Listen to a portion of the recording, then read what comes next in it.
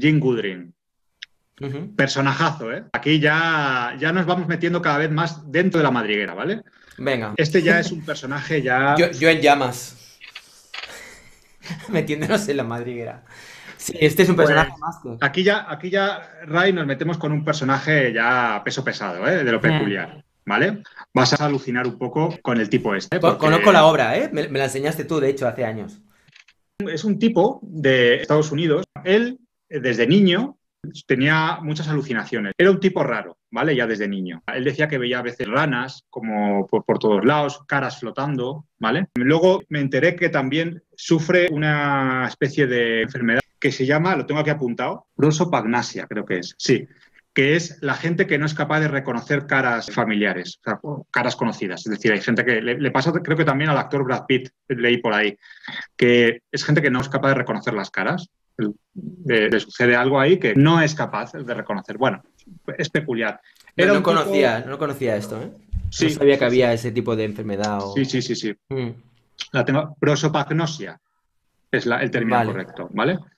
Eh, bueno, hablamos de un chaval que, lo dicho, ¿no? Sufría muchas alucinaciones y no debía ser muy eh, de seguir las normas en general en nada, ¿no? Durante bastante tiempo estuvo un poco, bueno, pues tocando diferentes palos. Creo que trabajó incluso de basurero un tiempo. Y, luego, pues eso, él sentía mucha obsesión con todo este mundo onírico que él tenía, ¿no? A él le gustaba mucho escribir sobre él. Él, en alguna entrevista, suele decir que, mm, bueno, voy a seguir, ¿ves esta rana? Ahora explicaré un poco qué significan para él las ranas, ¿no? Que aparecen mucho en su mundo. Él explica que en realidad él no hace cómic fantasioso, él hace autoperiodismo. Vale. Claro, porque él está retratando lo que él ve en sus sueños y lo que él ve en sus... es un- Entonces, él lo define así, ¿no? Como que él está haciendo en realidad periodismo de sus mundos estos peculiares, ¿no? La rana para él, pues muchas veces salen sus historias y a veces simboliza, pues son espíritus amables, a otras veces son espíritus muy pomposos, en fin. ¿Cómo definiríamos su estilo? Yo creo que es una especie de rollo onírico un poco pesadillesco. ¿Vale? Surrealista también, tiene mucho de surrealismo. Es muy significativo en su estilo de dibujo, es casi un sello personal de Goodring. Esta especie como de trama, si te das cuenta, ¿no? Como con Sí, sí, esa la línea- línea por todas partes ahí. sí, Eso es. Es muy representativo de su estilo, ¿vale? Él, él ha hecho ya como su sello personal en eso, ¿no? Y luego además es un gran pintor, ¿vale? Tiene mucha pintura que también hizo, pero todo con eso, ¿no? Con esa cosa como muy pesadilla, muy surreal, ¿vale? Este, me llama mucho la atención esta pieza. ¿Puedes ponerla otra vez? Sí, A ver, cómo déjame verla otra vez. Hostia, es que es Todo curioso. muy, ¿verdad? Como en ese aspecto retro, así... Es como si te miras, es como de una pesadilla. Esto es totalmente una pesadilla. Está el hombre detrás que está como llorando. El que nos está presentando a esta chica o mujer, así, no sé la, la edad que podría tener, ¿no? Y cómo le aguanta la barbilla y luego es como... o sea, me cuesta entender la... Me cuesta entender la cara, tío. Es como si le hubieran agarrado la cara y se la hubieran deslizado hacia arriba. Por un lado, pero por otro... Hostia, no sé, es que es, es curioso este cuadro, ¿eh? La verdad que Sí, me, deja, me deja bastante loco.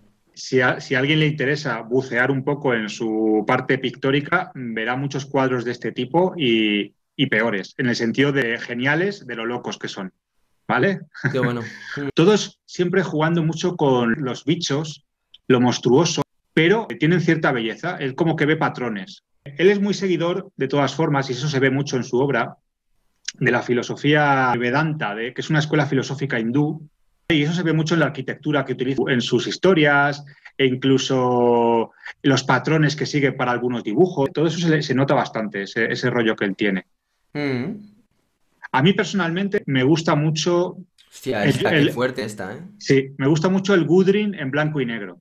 A mí también, te lo iba a decir antes. es La, la que hemos visto antes ¿eh? del gato, esa me- me- es la que más me ha gustado, creo. Bueno, la, la verdad que el, el cuadro también me ha gustado bastante. Pero sí, en blanco y negro cuando hay tramas. Este, por ejemplo, no tiene tantas tramas, no, no, no, no es, no ese tipo de trama. No, es que este lo ha aplicado un poco como aplica la pintura, pero en blanco y negro. Pero es un gran colorista, ¿eh? De hecho, es un colorista premiado y todo. O sea, es un colorista muy. Pero a mí, por lo que sea, me llega mucho más su parte cuando él usa el blanco y negro. Creo que me, me- me resulta más misterioso en su obra, ¿no? Mm. Sí, sí, es al final un poco lo que busco. Mm.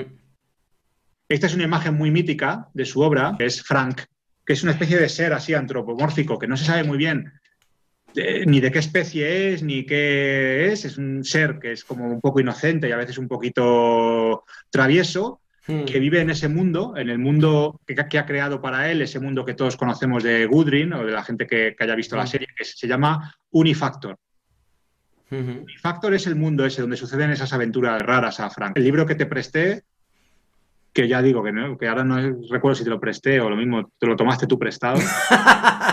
no, ese me lo diste, tío, ¿no? Ah, te lo di. No sí, me lo diste. ¿Te acuerdas cuando tenías todo de cajas? Bueno, vamos a hablar de estos temas. Sí, sí, vale, vale. Que te lo, Pero, bueno, ¿te acuerdas que me diste todo un pack porque no queríais porque- ir cargados de cuando volvíais a Madrid? Tienes ahí una joya, tienes ahí ¿Sí? una joya muy Lo sé, buena. lo sé, de vez en cuando la miro, ¿eh? O sea, que no te creas que Vale. está en buen Pues, lugar. el mundo- si algún día el- la quieres, me lo dices y te la devuelvo, tampoco pasa nada. No, quédatela, quédatela así. Ahora, ahora, bueno, mira, mira por qué no hace falta que me, la, que me lo devuelvas, eh, Ray. Mira, solo es una muestra de todo lo que tengo de Gudrun, Ya, ya, ya, ya, ya. ¿vale? Sí, O sea, sí, súper fan. Ha habido coleccionista de la obra de Gudrun. O sea que no te preocupes. Por cierto, este fue el primer cómic que encontré de Gudrun, que lo encontré en una tienda de cómic de Madrid, que ya ni existe, y me explotó la cabeza, ¿vale? Cuando lo encontré. O sea, ¿De qué año es? Pues la obra de, aunque, aunque por el tipo de estética que parece un poquito más antigua, parece como que eh, si fuera una serie de los 60, 70 de alguien que se tomó alucinógenos, esto es de los 90. O sea, no es tan, no tiene tanta, no es tan antiguo, o sea que... Es que, ¿sabes qué pasa? Que a los 90, a los que tenemos ya cierta edad, nos parece que es hace nada, pero estamos Bueno, ya en el yo, 2021. yo lo digo como referencia porque el underground trajo Mm. muchos autores de la línea un poco de Gudrun, eh, Cram, toda esta gente que hacía esas tramas también, que, es- que hemos visto antes en la obra de Gudrun, que Sí, eran sí, muy sí. del underground, muy Mm. así. Pero no, la- la- en realidad, aunque me imagino que Gudrun llevaría bastantes décadas trabajando antes, lo que es el cómic de Frank, que es lo que le hizo conocido, debe ser de los 90, ¿eh? finales de los 80, muy finales. Hace 30 años ya. Los Ya, 90 son pero 30 que- años, por eso te Pero digo. me refiero a que no son unos años en los que se diera mucho ese tipo de cómic. Llegó un poco tarde en ese sentido, yo creo. Mm. De hecho, ahora veremos que con la obra de Gudrun sucede una cosa muy curiosa. Por eso a mí me parece muy especial también. Y es que es un autor que no vende mucho. Está, es muy valorado en la crítica. De hecho, ha estado muchas veces en la lista de mejores cómics del año de Estados Unidos, tal. Pero no es un autor que venda demasiado. No, eso tiene que ver con la narrativa, porque es una narrativa más compleja muchas veces. O sea, no es una historia fácil de buenos, malos y... O sí, ¿Sabes? o porque tal vez la gente, hay gente, eh, eh, pues, o, por, o por su propia peculiaridad, es un mundo con, con el, con el que no todo el mundo conecta con facilidad. Claro, hay gente que le llega, hay gente que no, no, no sabes leer los códigos, las referencias son raras. A mí es que como me alucina y me encanta lo raro y lo peculiar, pues conecto a las mil maravillas, ¿no? Es más, cuanto más Mm. se enrarezca la historia, más me atrae. ¿no? Mejor, ¿eh? Este Sí. libro que es una portada escaneada por ti. No, no, no, no, es, lo, lo encontré, pero vamos, sí, este libro lo tengo por ahí. Un recopilatorio de tantos de las historias de Frank. Qué bueno, ¿eh? Es una obra Sí. de arte en sí, ¿eh? Toda Sí, esa sí, sí, sí, sí, sí. Perdona, voy a hacer un poco de disclaimer o de, o de- de spam. Si, si os apetecen vídeos como este, que la verdad que Mar se lo ha currado un montón, te lo agradezco, porque la verdad es que hay mucho trabajo aquí, ¿eh? De selección de las piezas, cómo lo has clasificado todo. Eh, dejaros algún super chat. Invitamos a Marta a algo. No sé. Mm, No estaría mal.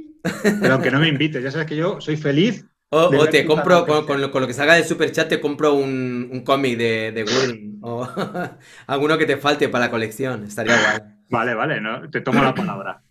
Bueno, aquí tenemos una viñeta, viñe- una viñeta, ¿eh?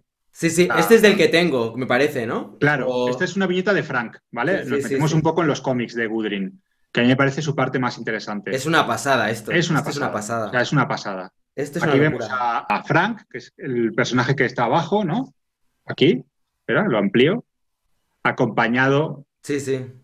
De sus fieles amigos. Estos dos personajes que aparecen eh, como dos, que parecen como dos perritos, así como que es como una especie de seres así, siempre acompañan a Frank, ¿vale? En todas sus aventuras. Y aquí, pues eso, se mezclan muchas criaturas, que muchas veces son ranas, que a veces son espíritus y tal. Y luego hay otros personajes que son, que no sé si los he incluido en este recopilatorio, pero que son también muy, muy peculiares, ¿no? ¿Ves? Aquí vemos esa arquitectura que hablábamos antes, un poco hindú, ¿verdad? Que recuerda un poco la- esa mística, ¿no? Totalmente, sí, sí. Y yo creo que Con la obra de Gudrun sucede como con la obra de muchos artistas que a simple vista no podemos leer con facilidad, y es que hay que dejarse llevar. O sea, tú no te tienes que hacer preguntas del por qué sucede esto, por qué sucede lo otro. Es como si hubieras ido en una nave espacial a otro mundo, estuvieras ahí, y suceden cosas en ese mundo que, ya está, suceden simplemente. Entonces es mejor no preguntarse. Es. un viaje que haces y, ya está. Son todo códigos distintos. Claro, Y esa es la gracia, ¿no? O sea, ¿qué, hacen esos, ¿qué hacen esos seres flotando ahí en la primera viñeta? ¿Por qué Fran, una compañera que aparece en, algunas de sus aventuras, le da esa especie de bolita a ese ser que es como una especie de escultura viviente? ¿Por qué le da esa...? No lo sabemos, pero sucede. Entonces se van sucediendo aventuras. ¿La da o la coge? Porque aquí no me queda muy claro. ¿no? Es como que le llama. Ah, bueno, sí, claro, es verdad. Llama y parece que la criatura, la propia criatura. Saca la lengua, ¿no? Con una bolita. Eso es, eso es, eso es. Tienes razón. ¿Por qué sucede? No sabemos. Hay que decir que las aventuras de Frank no son inconexas, ¿eh? O sea, estamos hablando de cómic, con lo cual, de principio a final, es una historia que sucede. No, o sea, narrativa hay. narrativa hay, efectivamente. el tema es que es una narrativa que, por ejemplo, en este caso no tiene texto y tanto los personajes como ese mundo, como las historias que, que, se, suceden a lo largo de, lo que es la, historia, eh, a veces cuesta entender qué es lo que está sucediendo. Es como lo que tú dices. Tienes que como dejarte la mente completamente en blanco y simplemente como asimilar esa información sin tratar de codificarla con tu mente racional, ¿no? Eso es, eso mm. es. Y fíjate, esta, esta es súper interesante. Esta es una especie de criatura interdimensional. O sea, si te traga o te engulle, te lleva a otra página, otras viñetas, otro mundo de la historia. Es una comedura de tarro interesante y muy importante. Quiero decir que aquí, o sea, esta gente no hace falta drogas, chicos. No, yo lo que creo es que Gudrun es una persona que se ha debido currar mucho también él, a nivel personal, ¿sabes? Seguro que debe ser la típica persona que igual medita, como que tiene todo un viaje espiritual, ¿sabes? Porque, o sea, si tú miras el cómic, aquí te está hablando de un montón de cosas, ¿no? Te está hablando de diferentes dimensiones, de viajes al interior de la conciencia. O sea, hay un montón de cosas. Y todo esto animado, además, con, personajes como Frank, que son como eso, que parecen de Disney, ¿no? Tienen un toque mm. así como de Disney de los años 20. Es que él lo que pretendía con este personaje, o lo que menos personalidad o peso tiene en la historia de la serie de Frank, es el propio Frank. Mm. Pero eso a él le permite que la atención se centre más en el mundo que rodea a Frank que, al propio, en el propio personaje. Exacto. ¿Vale? y luego lo que tú decías de que es un tío que se había trabajado mucho, no te quepa duda. De hecho, él es un enorme defensor de la meditación. Pero mira, ¿ves? Él cree Yo no lo sabía, ¿eh? Sí, eso él cree que debería enseñarse hasta en las escuelas. Sí, sí, efectivamente. Y lo que hablamos antes de las escuelas filosóficas que él sigue hinduistas, ¿no? Que, bueno, que se impregna mucho en su obra también, esa cosa mística, mágica, ¿no? Hmm. Me encanta. Fíjate, el de color me gusta, pero me funciona. Lo que tú decías, me gusta más el de blanco y negro, ¿eh? Es un gran colorista, ¿eh? es un colorista que, ha trabajado como colorista y muy premiado, y eso no, es fácil, ¿eh? No, digo que no esté bien dibujado, ¿eh? Me parece que está bien dibujado, pero me, distrae, ¿sabes? Es como que es otro elemento más que me distrae de, lo que está sucediendo en la escena. Te distrae, no necesariamente eso es así en los dibujos. El dibujo, el color siempre añade eh, más información. Lo que ocurre es que como Gudrun se basa mucho en las tramas, en esa trama rayada, lo que hace el color es redundar, no aporta realmente tanto como se necesita. El color tiene que complementar, pero cuando tú añades un dibujo con tanta trama y tan bien, a veces el color sobra, simplemente. este, este dibujo en blanco y negro tiene la misma potencia o incluso más. Yo creo que más también, sí, sí. Hmm. Mira, es que fíjate, ¿no? No hay color. Claro. No hay, color, exacto. Mira, este, este personaje que vemos aquí, que colgando en esa especie de trampa, es Manhawk, que es una especie de hombre cerdo que las pasa canutas en el mundo de Kudri, en Unifactor. A veces le arrancan la piel, a veces. O sea, estamos hablando de. Cuidado, aunque veamos esta especie de estética muy redondita y muy bonita y con florecitas y con tal, como pasaba con Cooper, hay una cosa que tienen en común Cooper y Gudrun, es que son muy oscuros, ¿eh? O sea, las historias son terribles. Recuerdo una historia de este personaje, de, Manjo, del hombre cerdo, en el que le cortan todos los miembros del cuerpo, ¿eh? Le van cortando todos los miembros del cuerpo y le dejan solo eh, con el tronco y la cabeza. Es bastante gore, bastante fuerte. Hmm. Pero a mí eso me parece que ese contraste entre la estética del dibujo muy bonito me, me, lo hace que resulte más interesante incluso descubrir Claro, si tú ves esto y además las historias son como muy cookies o muy infantiles o muy tal, pues lo mismo digo, vale, está bien, pero el hecho de que él juegue con ese contraste de lo oscuro, lo tenebroso, lo pesadillesco y aparte esa estética un poquito como más entrañable, a mí me parece un alucine. Hmm. Mira, fíjate. Wow. ¿eh?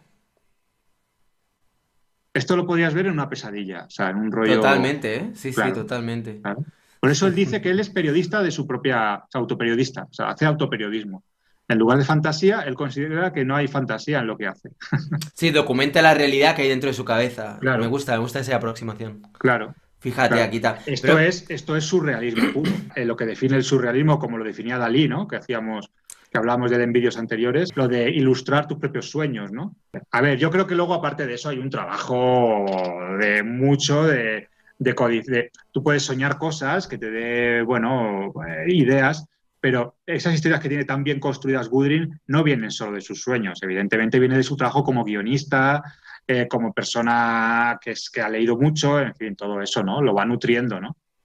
Hmm. ¿Algo que comentar sobre, sobre O sea, hasta ahora me está encantando, ¿eh? Todo lo que estás enseñando aquí, todas los, las obras de todos los artistas que, que están apareciendo me encantan, de la de los tres. Son tres ya llevamos, ¿no? Sí. Me ha gustado un montón. Ya digo, yo recomiendo mucho la obra de Goodrin y que porque sucede además, y animo a la gente a comprarla, porque es que sucede una cosa muy curiosa con Goodrin, es que es un tipo muy valorado en la crítica, o sea, muy valorado en... Lo que decías antes, sí, pero que el nivel de pasta poco, ¿no? Pero no vende mucho. Hay cómics de Goodrin en, en, cualquier parte del mundo prácticamente, o sea, en cualquier tienda de cómic te encuentras un... O sea, que pero vende poco en relación a, lo que tendría que ser un autor como él, ¿no? De, de su talla. Es curioso, es curioso. Sin embargo, su obra está muy bien valorada, muy... Pero bueno, esas cosas que pasan, ¿no?